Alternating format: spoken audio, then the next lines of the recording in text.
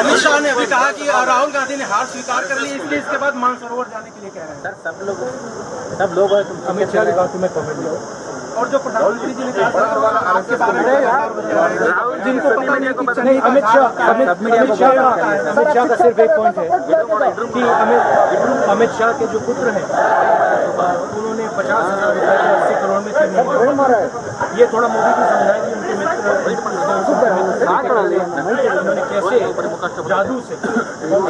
है sir BJP है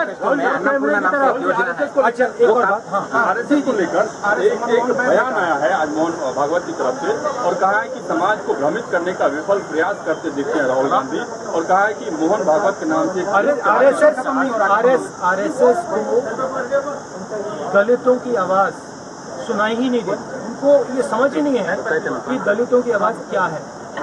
और पूरे देश में दलितों को मारा जा रहा है दबाया जा रहा है। रोहित वेमुला का इकडे इकडे आकडे जब भी एक दलित व्यक्ति साहब इस तरफ़ से पूरा कैमरा इस तरफ़ है। जाता है। साहब पूरा कैमरा इस तरफ़ है। अपनी ज़िंदगी को बदलने की कोशिश करता है।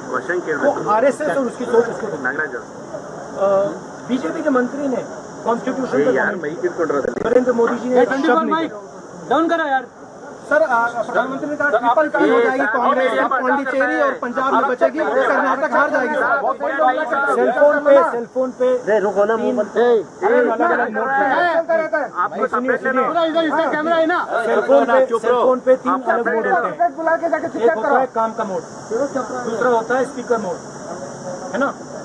राहुल जी पूरा कैमरा इस तरफ़ है? Airplane mode.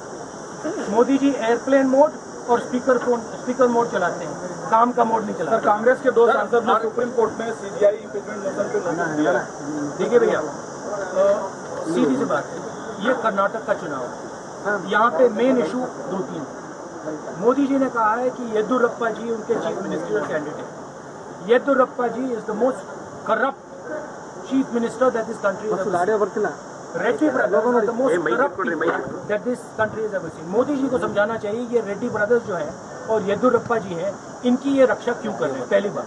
दूसरी बात मोदी जी को समझाना चाहिए कि जब कर्नाटक का किसान कर्जा माफ़ी मांग रहा था तो नरेंद्र मोदी जी क्या कर रहे थे? और जब 8000 करोड़ रुपए कांग्रेस पार्टी ने कर्जा माफ़ किया तो नरेंद्र मोदी जी ने उसमें एक रुपया भी नहीं डाला। तीसरी बात नरेंद्र मोदी जी को समझानी चाहिए कि वो चाइना में क्या करने गए? चाइना में गए चाइना की सेना ढोकलाम में घुसी हुई है। चाइना वहाँ पे हेलीपैड बना रहा है और हमारे प्रधानमंत्री वहाँ पे जाकर नमस्ते करके चाय पी रहे हैं। और ढोकलाम का शब्द एक शब्द नहीं बोल प्रधानमंत्री जी को यह समझाना चाहिए यहाँ पे कांग्रेस पार्टी की सरकार आएगी। सिद्धरमैया जी ने बहुत अच्छा काम किया है चुनाव हम जीतेंगे। थैंक यू नमस्कार। कांग्रेस अध्यक्ष राहुल गांधी जो कह रहे थे कि कर्नाटक में चुनाव जीतेंगे और डेवलपमेंट के एजेंडे पर चुनाव